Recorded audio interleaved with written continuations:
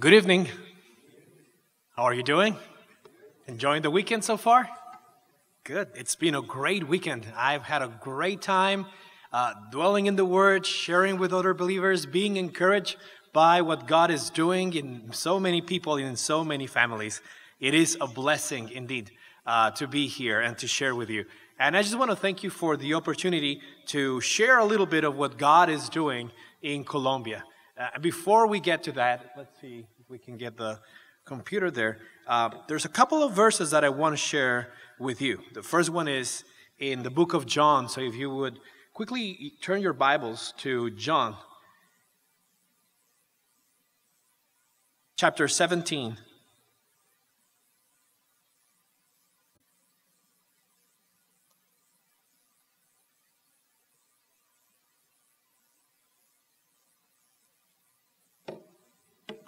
Verse 14. Luke, uh, John 17, 14.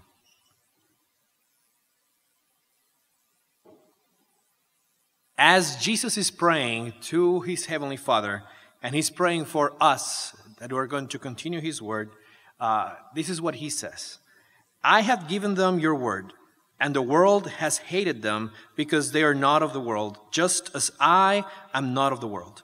I do not ask that you take them out of the world, but that you keep them from the evil one. They are not of the world, just as I am not of the world. Sanctify them in the truth. Your word is truth.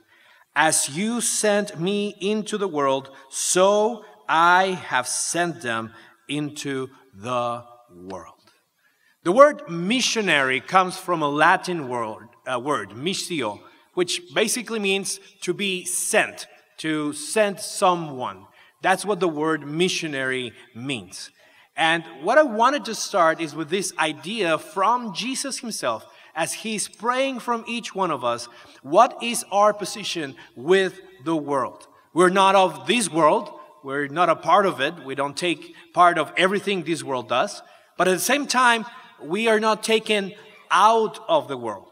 We are dwelling in it. We are living in it. But we are here with a very specific purpose. The Lord Jesus himself, says about us, As you sent me into the world, so I have sent them into the world. Now, who is Jesus talking about in these verses? Just a couple of people? Uh, just the apostles? Or is he talking about all believers? He is talking about each and every one of us. Every person in this room has that same calling. The reason you are in this world and you were not taken away to heaven the moment you became a believer, but you remain in this world is because as the Father has sent his Son so now the Son, Jesus, is sending us into the world. So everybody in this room is a missionary, is somebody who has been sent out with a purpose from Jesus to share the good news out into this world. Now, our mission fields may look different. Some of you may be in the working place. Some of you may be in college. Some of you may be in high school. But you have to understand, you have to regard the places where God has placed you in this moment in life as that mission field, as a place where God has sent us, as a place where God has placed us, as a place where God wants us to represent God the Father and to embody who God is and take the good news to the people around us. And I think that's very important for us to consider because often we hear mission reports or we see missions and we think that's out there. You know, it's for a few and for some that are there doing the work but doesn't really relate to us. And I wanted to open this report just by saying we are all in this. We just have different places where God has called us. And the moment you realize that, the moment you realize that where you are is your mission field, then you will be even more open for God to move you around and maybe show you a different place, a different country, or a different culture where He might use you. So just wanted to share that with you. Um, there we go. Let me see. I'll just go.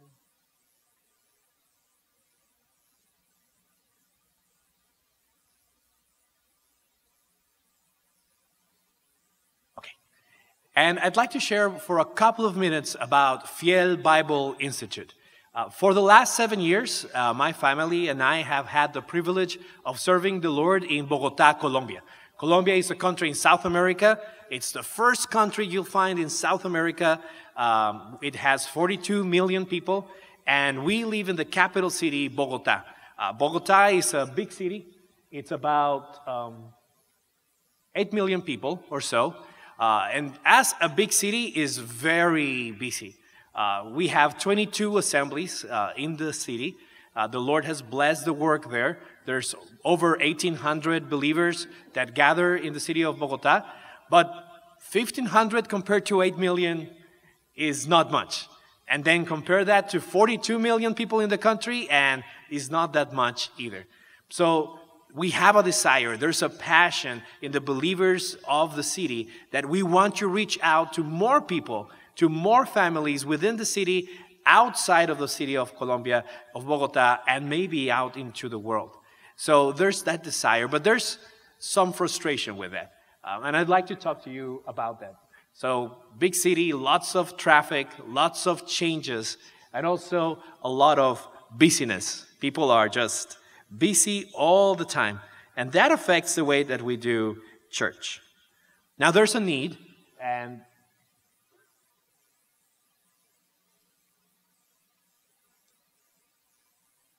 Right?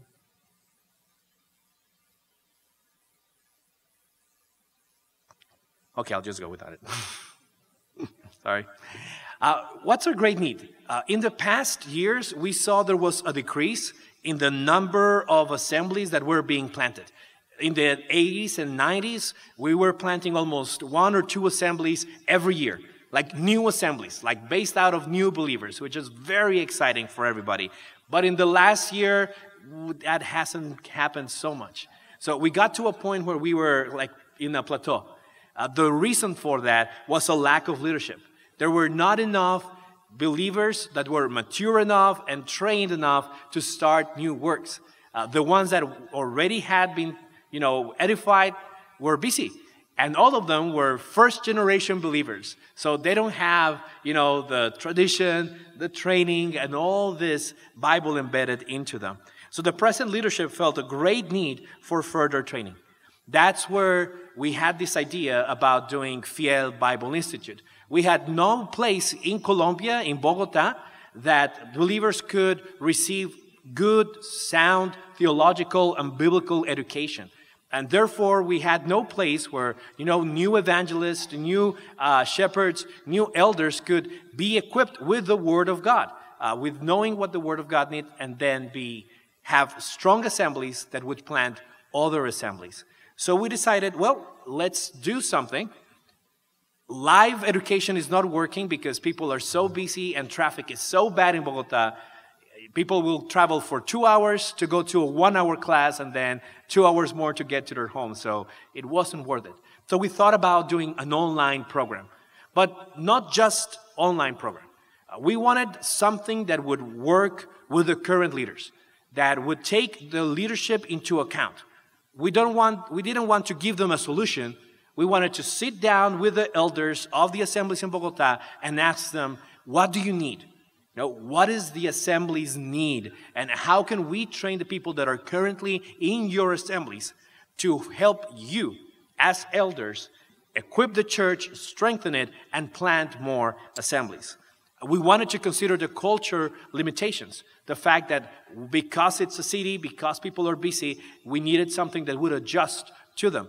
Uh, we can't ask people to take four years uh, and just, you know, study in the Bible school without work because most of them are bivocational, they are working, they are trying really hard to provide for their families, so it would be not possible for them to stop that and just study. So we needed to consider that.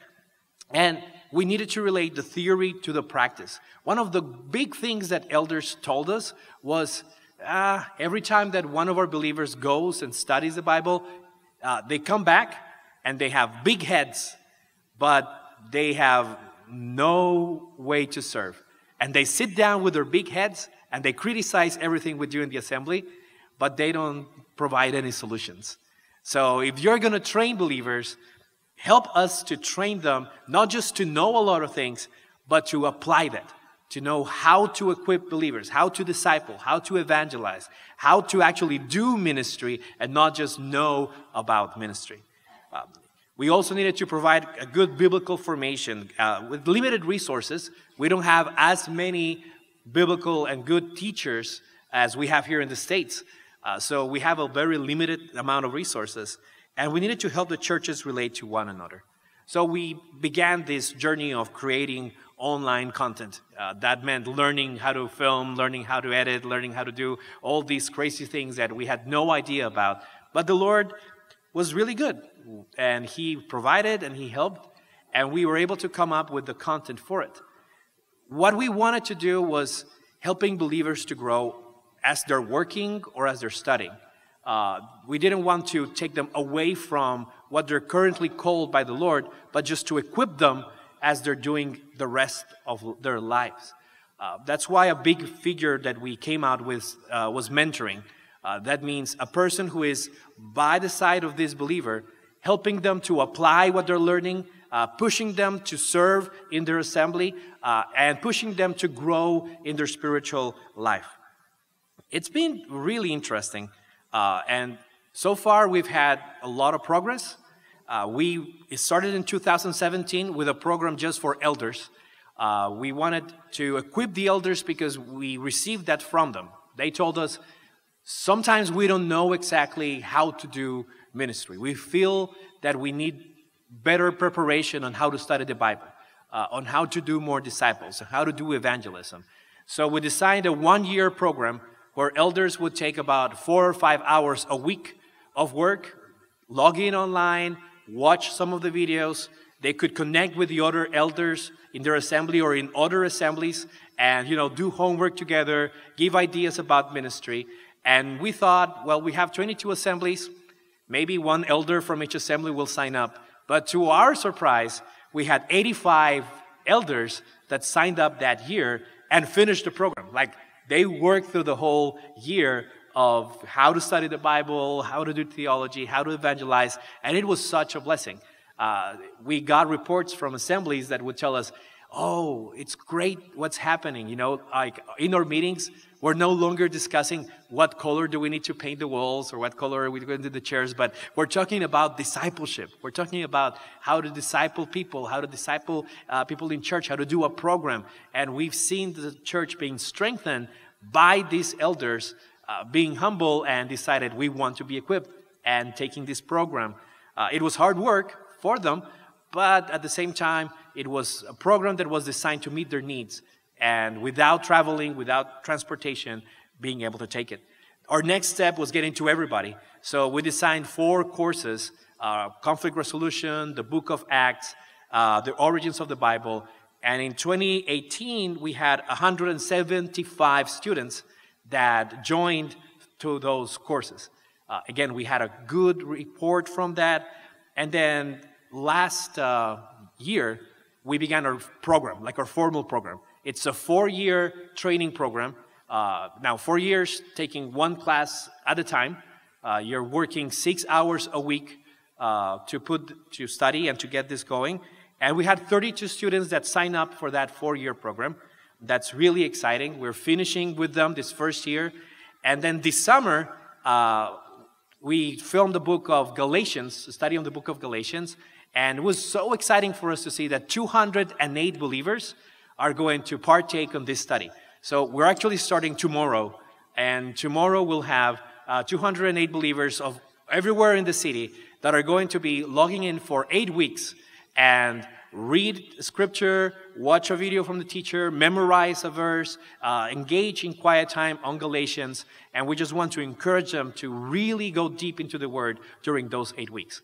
Uh, and that has been really exciting. There's a lot of work to do.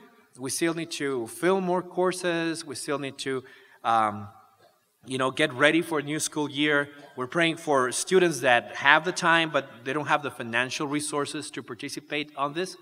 And we would appreciate your prayers. It's not just about having a school and not just about, you know, giving people the Bible.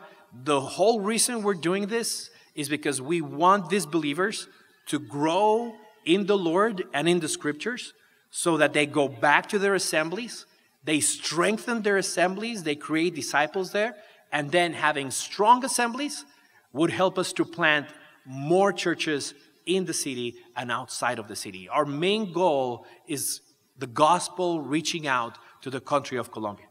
And we need it. It is a Catholic country. Uh, it is easier to share the gospel, uh, but there is such a big need of the gospel, like in everywhere else in the world, to penetrate the hearts of Colombian people. So if you remember us, please pray. Pray for Colombia. Pray that God will open more doors, that God will engage more hearts with the gospel. And pray for us as we work in this Bible Institute, that God will give us the knowledge, the wisdom, uh, and the energy to do all the work that needs to be done to equip believers there.